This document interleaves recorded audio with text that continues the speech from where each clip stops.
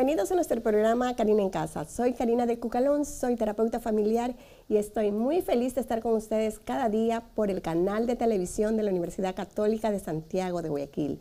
Recuerden, todos podemos hacer de nuestras vidas y familias un pedacito de cielo. Cada vez que yo recibo una llamada de ustedes con una situación de dolor, de angustia, de aflicción, es siempre un problema, Sí, porque todos tenemos un problema que resolver cada día. Hoy vamos a hablar de un tema también que es muy importante, que son esos terremotos que te vienen en cambio desde adentro. Cuando estás bien y de pronto sientes que hay un terremoto en tu vida y dices, terremoto, y que es, has sufrido un ataque de pánico, sientes que todo te colapsa, te da miedo, terror, angustia, son tantas emociones que en ese momento convergen y tu vida cambia de un momento a otro. Para ese tema, para ese problema, tenemos muchas soluciones. Y hoy he invitado a una linda amiga, ella es Soraya Aguilar, es psicóloga. Soraya, bienvenido a nuestro programa Karina en Casa. ¿Cómo estás? Muchas gracias por invitarme. Es un gusto para mí estar aquí, Karina, y le agradezco a ustedes y a usted por invitarme. Bueno, es un placer, Soraya, y queremos hablar de este tema. Vamos a orientar a los, eh, a los televidentes con qué hacer cuando tienen ataque de pánico y qué hacer cuando tienen ataque de ansiedad. Parece que es lo mismo, pero si hay una pequeña diferencia, se la vamos a preguntar a, a Soraya.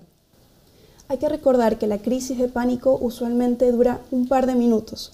Se va a acabar. Esta sensación de que me voy a morir, no lo voy a superar, tiene un fin.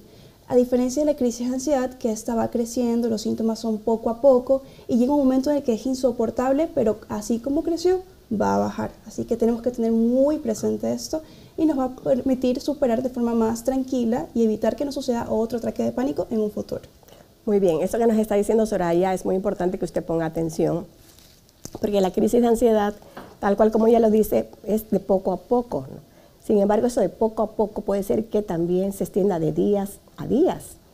A veces una crisis de ansiedad puede ser que aparece hoy lunes o domingo y toda la semana usted está con esa crisis de ansiedad así como aparece, también va a ir disminuyendo. Y como ya lo mencionó muy bien, el ataque de pánico es que de pronto se está caminando, o puede ser que está bajando las escaleras o está cocinando y siente como un terremoto que se produce en su cuerpo, en su parte interna. Y a veces, inclusive mis pacientes han gritado terremoto cuando han estado en el trabajo que les ha ocurrido esta situación.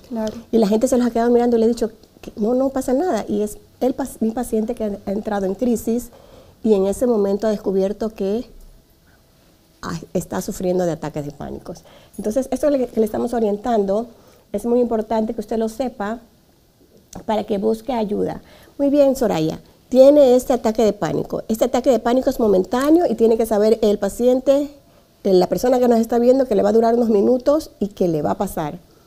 ¿Qué hay que hacer para controlar esos ataques y que no vengan nuevamente? ¿Van a surgir nuevamente o ¿O no? Ok, listo. Hay que entender que el ataque de pánico tiene dos tipos de causales, de forma repentina o de forma no esperable. Puede ser esperado como no.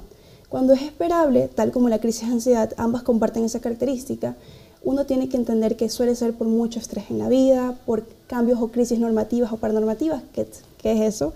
Es cuando realmente uno tiene un cambio en la vida brusco, como un nuevo nacimiento de un miembro de la familia, como un cambio de trabajo, como la muerte de un ser querido. Entonces, este tipo de crisis nos generan una acumulación de estrés que puede explotar en un ataque de pánico o puede desbordarse en una crisis de ansiedad. Así que precisamente hay que tener en cuenta estos factores de riesgo, como también cuando se consume drogas, cuando se consume medicamentos o suplementos, hay que tener mucho cuidado porque estos terminan posiblemente en crisis de ansiedad o ataque de pánico. Muy bien, vamos a explicarle al público para que no se confunda qué hacer cuando tiene un ataque de pánico, ¿sí? Y en el otro bloque vamos a hablar sobre qué hacer con las crisis de ansiedad para que puedan tomar nota y puedan buscar también ayuda. ¿Qué hacer si tiene un ataque de pánico? Cuando hay un ataque de pánico, lo primero es reconocer lo que se está sintiendo. Uno tiene que entender, ok, estoy atravesando un ataque de pánico. Entonces, una vez se lo reconoce, uno puede tomar alternativas, como por ejemplo, respirar profundamente, pese a que en ese momento uno sienta que se va a ahogar, tiene que regular su respiración. Muchas veces a ciertos pacientes míos les ha servido usar hielo en las muñecas Eso regula la temperatura corporal que muchas veces nos entra una ola de calor en estos ataques de pánico. Entonces el hielo en las muñecas sirve bastante o mojarse la cara, mojarse las manos y sobre todo, aunque muchas veces no se lo sienta así, buscar ayuda, buscar una persona que nos acompañe en caso de que el ataque de pánico nos supere y podamos desmayarnos o algún tipo de cuestión así. Muy bien, muy buena recomendación. Nos vamos a ir a un corte con esto que nos acaba de decir Soraya. Ponga atención, tome nota. Hay ataques de pánico que usted ya conoce que está sufriendo y que en cualquier momento pueden aparecer, entonces aprenda de la experiencia. Hay ataques de pánico que surgen de un momento a otro, usted nunca se lo esperó y por eso es la crisis, el pánico de que usted cree que se está muriendo. Sin embargo, tome asiento, agárrese de donde está, agárrese de la silla, agárrese de la mesa, tome asiento, busque ayuda y sepa que eso va a pasar aunque no lo quiera aceptar, eso va a pasar y lo tiene que repetir y repetir en su mente o con sus palabras. Esto ya va a pasar, esto ya va a pasar, esto ya va a pasar. Como cuando hay un terremoto en la casa, un temblor y usted grita, se asusta y viene otra persona y dice, tranquilos, que esto ya va a pasar, ya va a pasar. Lo mismo usted tiene que hacer en el caso que tenga un ataque de pánico o que esté viendo a un ser querido o un compañero de trabajo con un ataque de pánico. Decir firmemente, tranquilo, esto ya va a pasar, es como dar una orden. Esto ya va a pasar. Respira.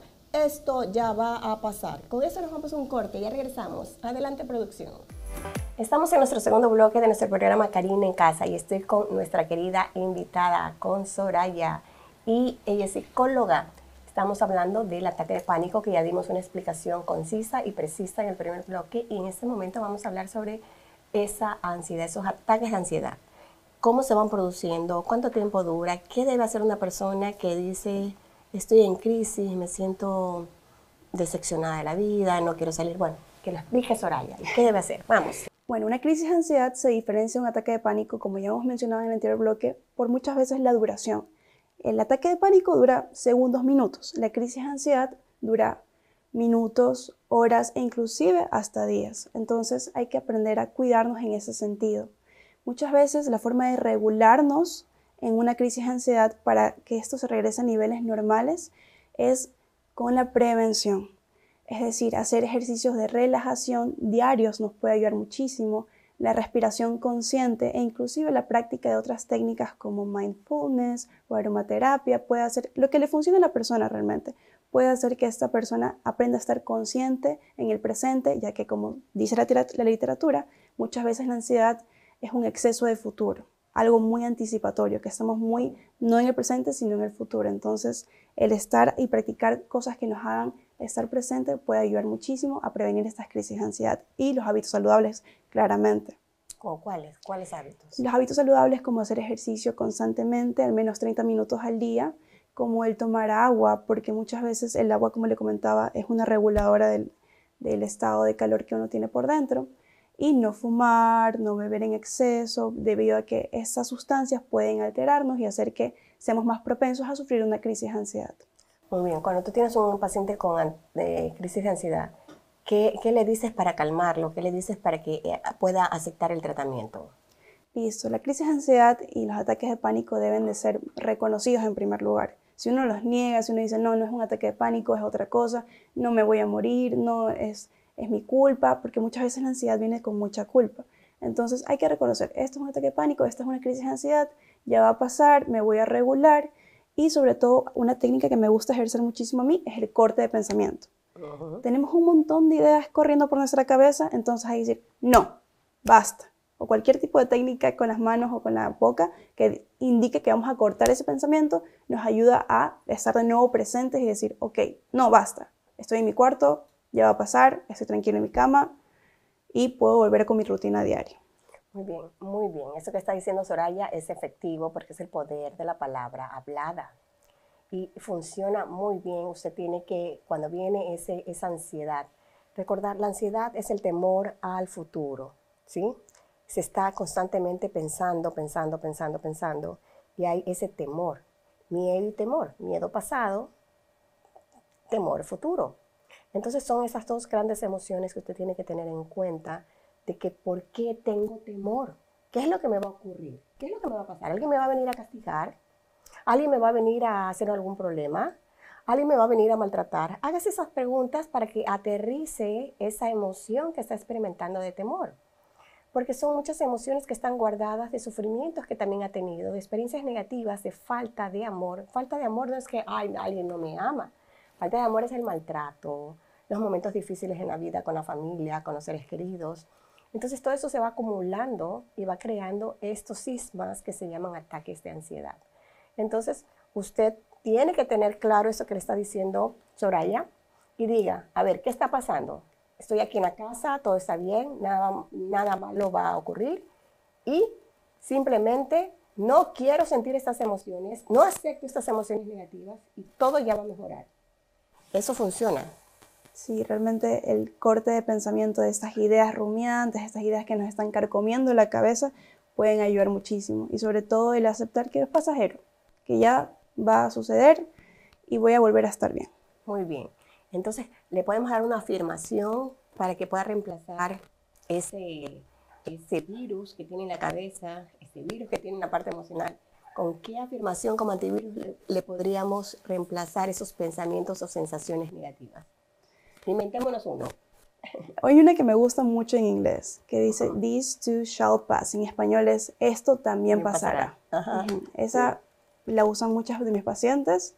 Un paciente me lo trajo a consulta y me quedé con maravillada. Dije, perfecto, esa frase es la indicada para estos momentos de ansiedad anticipatoria. Entonces, me encanta porque esa frase es la que yo aprendí en Estados Unidos, en Summit University, diciendo, esto también pasará, esto también pasará. Y es una frase del, del maestro Saint Germain y del maestro Moria. Entonces, esto también pasará. Y ellos lo, le agregan una frase maravillosa que es, algo maravilloso está por ocurrir en mi vida. Y para darle más poder a la frase, cuando eres una persona espiritual o creyente, puedes decir en el nombre de Jesucristo, algo maravilloso está por ocurrir en mi vida. Entonces vienes como un antídoto a remover y a demoler ese pensamiento y esa emoción que está ya trincherada en tu cuerpo, como que algo malo va a ocurrir. Entonces tú dices, no, algo maravilloso está por ocurrir en mi vida. Y de esa manera contraatacas tú mismo con un antivirus a esas emociones que te están tumbando y no te dejan ser feliz. Lindo estos temas cuando lo podemos hablar de una forma así práctica y que la gente lo vea que es algo práctico, que sí lo podemos Exactamente. Es algo que se puede manejar, que está en nuestras manos y no tenemos por qué desesperarnos. ¿Y qué más podemos hacer aparte de eso, este, Soraya? Sí, muchas veces hay que tener en cuenta las cosas que podemos prevenir. La ansiedad realmente en los ataques de pánico es algo que ocurre muy de repente, que no sabemos cuál es la causa realmente, pero las crisis de ansiedad son prevenibles, como comentaba anteriormente. Sí, son prevenibles. Muy bien, las crisis de ansiedad son prevenibles, como dice Soraya. ¿Y por qué son prevenibles las crisis de ansiedad? Si también aparecen de un momento a otro, la gente está durmiendo, se levanta y dice, no, me siento mal, me siento desganada, tengo angustia, el pecho se me sale, siento que algo malo va a pasar. ¿Cómo serían prevenibles? Muchas veces podemos entender que son prevenibles cuando hacemos hábitos saludables, cuando hacemos mindfulness, cuando realmente practicamos el estar presentes, el estar con una serenidad. Eso es algo que le recomiendo mucho a mis pacientes. Realmente evitar la acumulación de estrés, evitar sobreexigirnos. Si estamos delicados de nuestra salud mental, debemos tomarlo como si estuviéramos delicados de nuestra salud física. Uno cuando está delicado de su salud física no anda exponiéndose a altas temperaturas o, o cambios de temperatura este, bruscos. Por lo mismo, yo no me tengo que exponer a cambios emocionales bruscos, debo de protegerme, debo de cuidarme y eso es algo que yo le recomendaría a las personas que están atravesando por crisis de ansiedad. Muy bien, muy bien, me encantó esa recomendación. Excelente, Soraya. Muchas gracias. Con eso nos vamos a ir a un corte ya regresamos. Recuerda que estamos en nuestro programa Karina en Casa. Adelante, producción. Estamos en nuestro último bloque de nuestro programa Karina en Casa por la televisión de la Universidad Católica de Santiago de Guayaquil. Y estamos de una forma muy práctica orientándolo sobre este tema tan importante que son los ataques de pánico y el, las crisis de ansiedad. A veces le podemos decir ataques de ansiedad porque de un momento a otro también las personas se bajonean, se ponen tristes, ponen, se ponen a llorar, eh, no quieren salir de casa, no se quieren bañar, no quieren comer y se cierran, se cierran en sí mismos y se aíslan del mundo entero. Y eso puede durar días, a veces semanas. Y ya cuando acordamos hay una, una, crisis de depresión. Entonces de la ansiedad tenemos un paso para la depresión, por eso es tan importante esto que estamos hablando, para que usted tome control de su vida y lo tome de una forma práctica, una forma práctica de decir, ok, estoy en esta vida, la tengo que vivir, tengo que ver la forma de sonreír, tengo que ver la forma de salir hacia adelante. No, no me puedo quedar estancada en una cama o en una crisis pensando que ya la vida se terminó. Tenemos que vivir la vida y para eso tenemos hoy en este momento a Soraya que estamos entrevistándola sobre este tema tan importante. ¿Qué recomendaciones, Soraya, nos puedes dar para el público que nos está viendo y cambien su vida, la mejoren? Sí, mi recomendación es, como les comentaba anteriormente, tener hábitos saludables y entender nuestras limitaciones también. Muchas veces estos ataques de pánico debemos de aprender a manejarlos en casa, pero si suceden más de dos veces en menos de un mes, es momento de asistir a los profesionales de salud mental y a la vez con las crisis de ansiedad. Si estas nos superan, si se dan ante retos cotidianos como asistir al trabajo, como estar en un, en un, lugar cerrado, que eso se considera como claustrofobia, entonces eso ya debe de ser visto por un profesional que nos va a ayudar a dar con las herramientas necesarias para por nuestra cuenta superar estas crisis. Muy bien. ¿Alguna otra recomendación, por ejemplo? ¿Qué pasa si, eh, vamos a ir un poquito al ataque de, pánico. pánico. ¿Qué pasa si está en la calle? y le da un ataque de pánico al televidente que está viendo este programa. Listo, ahí hay un riesgo de correr peligro. Entonces, como si hubiese un temblor, como usted decía, o un terremoto, uno debe buscar un lugar seguro.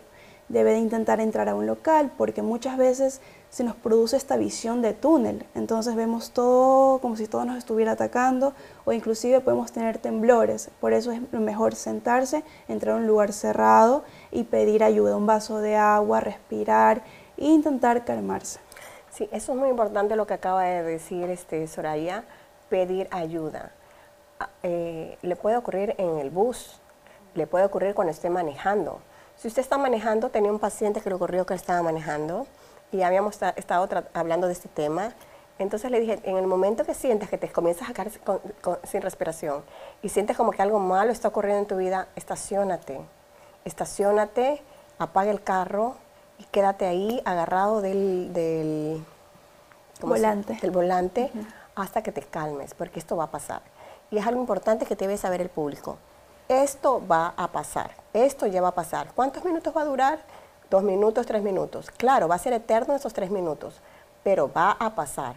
Y tienes que eso guardártelo en la cabeza y mantenerlo como una memoria latente de que eso va, a pasar. ¿Qué pueden hacer, por ejemplo, en, en este caso, a veces eh, las madres están en la casa, están con hijos pequeños y les viene un ataque de pánico y gritan, y los niños se asustan, comienzan a llorar, ¿Qué le podríamos decir a esa mamá que de pronto le, ha ocurrido eso o que le puede ocurrir? Claro, muchas veces hay cosas que no se pueden prevenir, como un ataque de pánico sin una causa aparente.